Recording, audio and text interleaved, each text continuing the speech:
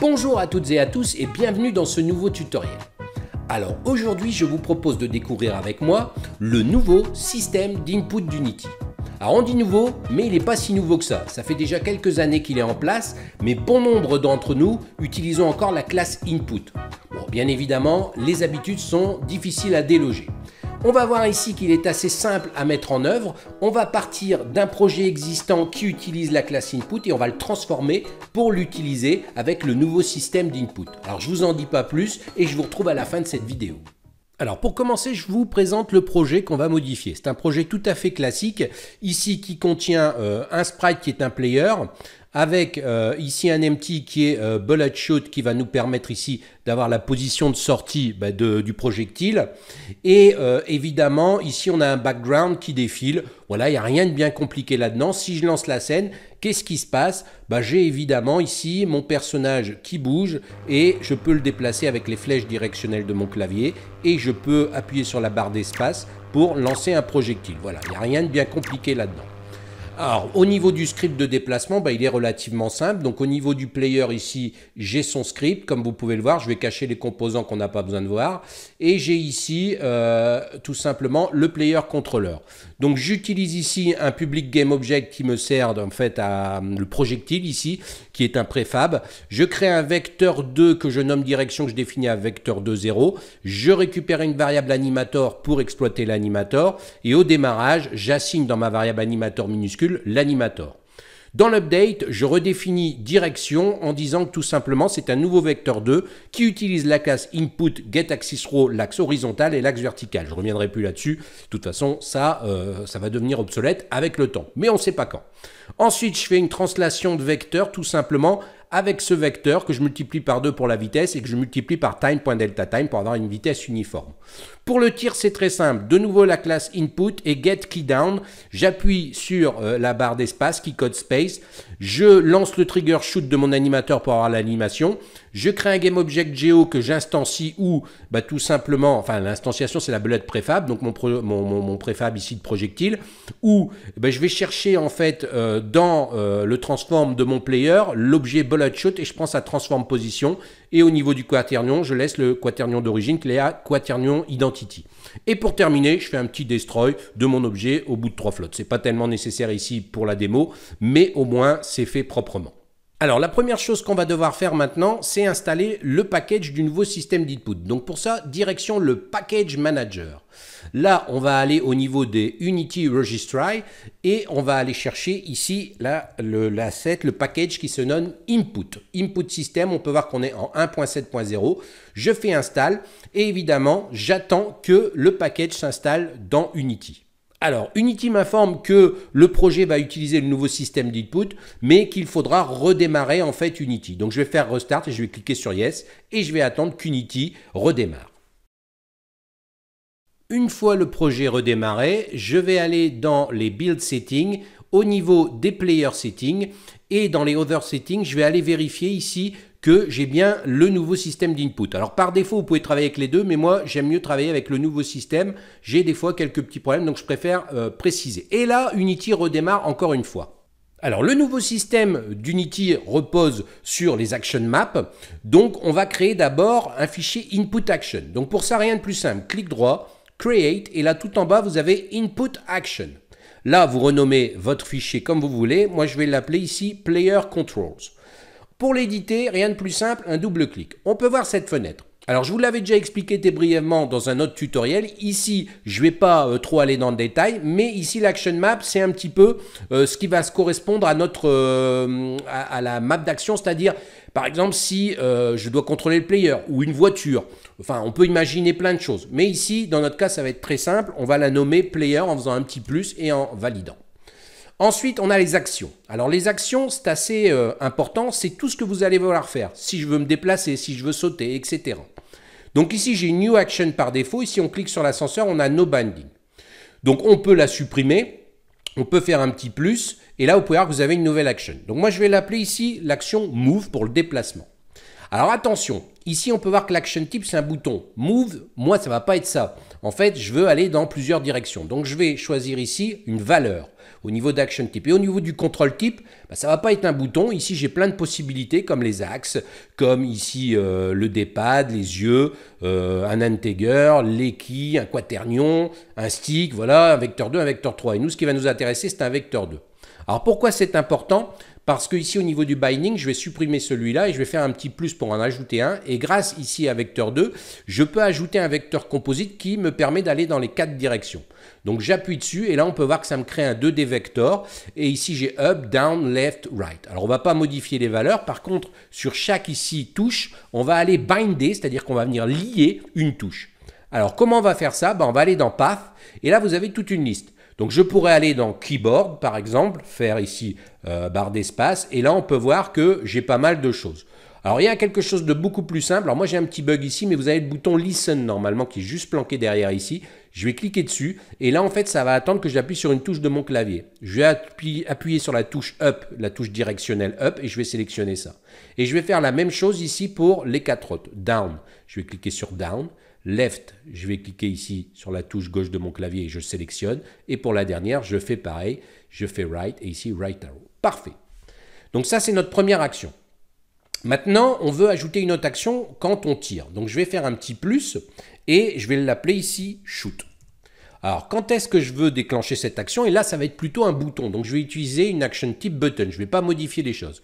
Au niveau du binding, bah là, je vais aller choisir une touche de nouveau. Donc, je pourrais prendre, par exemple, keyboard et aller chercher space, par exemple, si je la trouve dedans, encore une fois. Voilà. Mais le plus simple est encore d'utiliser ce petit bouton listen. J'appuie sur la barre et ici, je choisis euh, space. Voilà.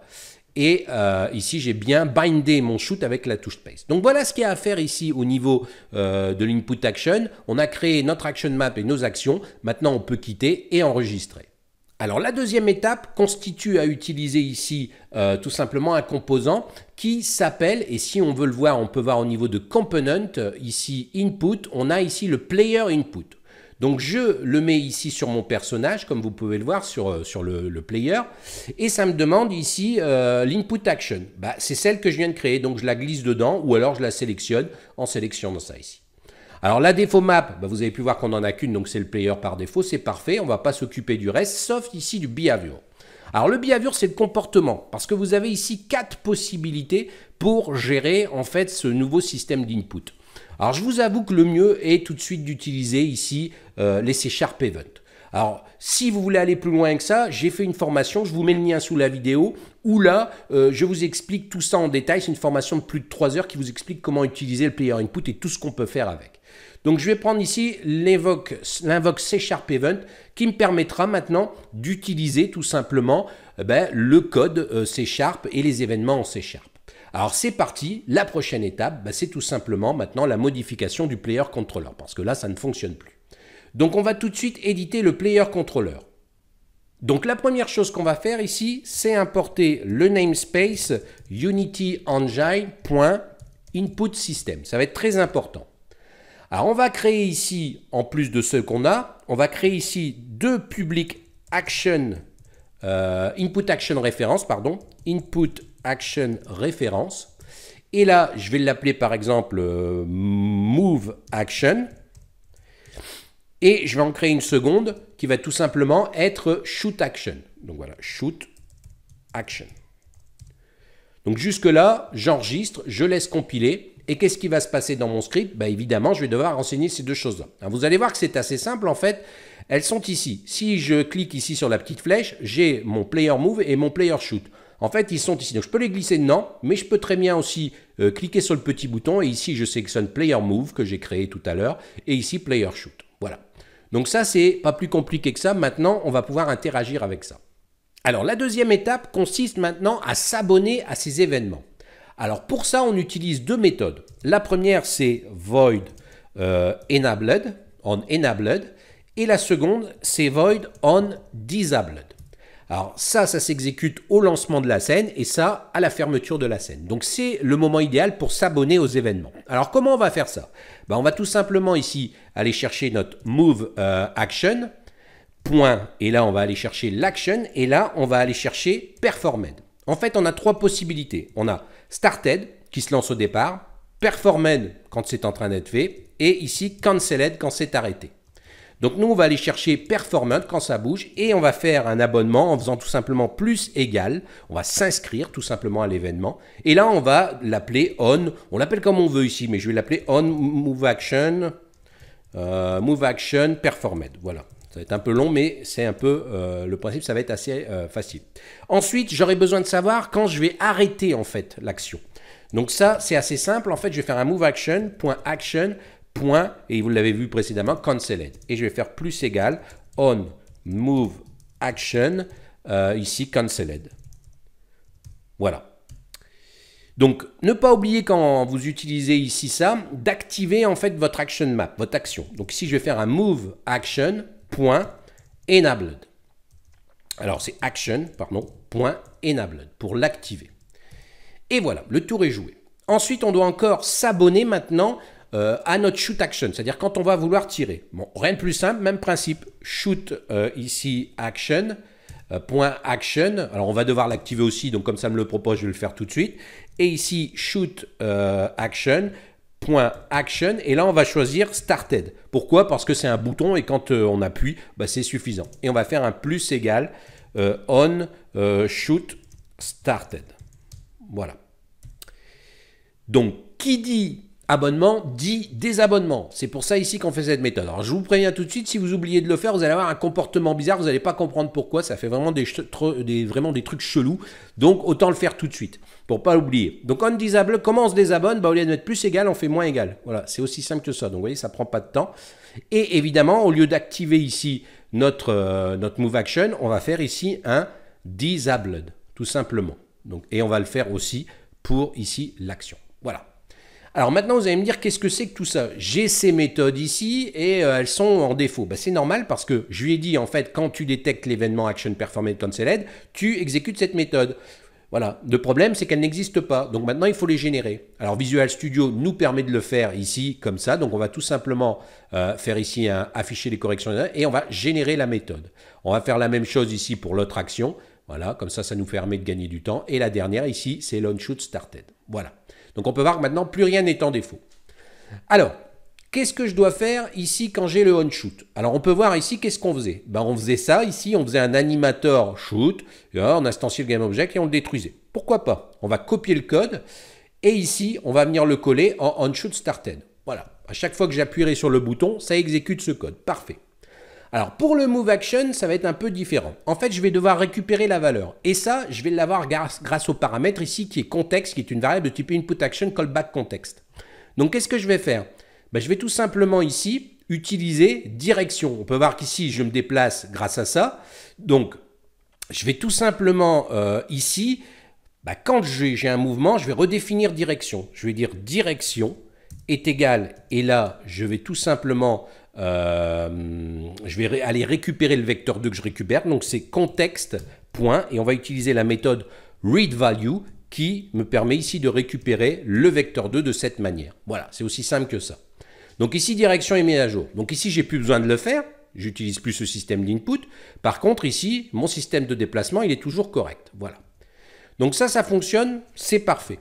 Alors il reste quand même quelque chose. La différence avec ce que vous avez habituellement, c'est quand vous lâchez ici vos flèches, ça repart à zéro. Le seul problème, c'est qu'ici je crée une variable direction et euh, je la mets à jour uniquement quand j'ai un mouvement. Ce qui fait que le dernier va toujours être en mémoire. Quand je vais le lâcher, en fait, ben, j'ai pas ça. C'est quand c'est performant, c'est-à-dire quand ça bouge. Donc si je vais en haut, ben, j'ai un vecteur 1, 0 ou des trucs comme ça. Mais j'aurai jamais de vecteur 0, 0 parce que là, je déclenche pas.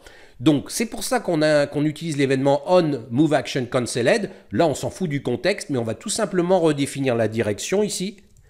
La direction à vecteur 2, 0. Voilà, comme ça quand je lâche, eh ben ici ça repasse ici à 0, c'est-à-dire ça ne se déplace plus. Ben voilà, vous pouvez voir qu'ici on a modifié notre script tout simplement pour utiliser le nouveau système d'input. Donc maintenant, ben on laisse compiler. On va tout simplement tester ça pour voir si tout ça fonctionne convenablement. Donc je lance ma scène. Et évidemment, je vais utiliser euh, mon clavier pour vérifier si mon personnage bouge bien. Et vous pouvez voir que ça fonctionne parfaitement. J'appuie sur la barre d'espace et je tire correctement. Voilà, là j'ai bien modifié mon code pour utiliser le nouveau système d'input. Alors vous allez me dire, oui c'est très bien, voilà j'ai vu comment on faisait, mais qu'est-ce que ça m'apporte? Alors c'est énorme les avantages qu'a euh, ce système d'input parce que regardez, si maintenant ici au niveau du move, je vais tout simplement ajouter, ici j'utilise le 2D vector, donc ça pourrait être ici euh, keyboard, je peux le renommer comme ça, je peux ajouter maintenant un nouveau binding en même temps. Et euh, bah, ça pourrait être n'importe quoi. Donc je vais prendre ici Add Binding, je vais aller chercher ici dans le page, je vais aller dans le Gamepad par exemple, et là, je vais dire, euh, bah, pour déplacer mon personnage, c'est le left stick, le stick directionnel left. Euh, et ici, euh, bah, sur le shoot, je vais faire un petit plus, je vais faire un add binding de nouveau, alors je vais me mettre sur le shoot, pardon, add binding, et là au lieu d'être keyboard, bah, je vais tout simplement utiliser le listen, je vais prendre ici ma manette et je vais appuyer sur son bouton A, voilà, j'ai A Xbox Controller, bouton start, c'est la même chose, et voilà, donc maintenant j'enregistre, j'enregistre les modifications et on va pouvoir tester. Je lance ici la scène. Donc j'ai attrapé ma manette comme vous pouvez le voir et là vous pouvez voir que je peux utiliser ma manette pour contrôler mon personnage. Voilà, pas plus compliqué que ça. Et bien évidemment, je peux encore utiliser le clavier comme vous pouvez l'observer, ça fonctionne en même temps. Donc voilà euh, un des gros avantages, il y en a tellement que je ne peux pas tous vous les lister ici. Mais euh, vous avez ici quand même compris que c'est assez intéressant d'utiliser ce nouveau système d'input. Voilà, cette vidéo touche à sa fin. Alors vous avez pu voir très brièvement comment fonctionne le nouveau système d'input. Alors je tiens à dire euh, qu'il est vraiment intéressant pour plein d'autres choses. D'ailleurs à ce sujet, si ça vous intéresse, je vous mets un lien sous la vidéo pour euh, euh, en fait suivre ma formation qui est le guide Ultime Unity, qui est un cours de plus de 80 heures à ce jour et qui contient tout un chapitre sur ce nouveau système d'input. Il y a plein de choses à voir, comme par exemple le multijoueur local. On peut aussi contrôler vraiment un tas de choses. Quoi. On, peut, on peut faire énormément de choses avec ce nouveau système d'input. Encore une fois, je vous dis 3 heures de vidéo.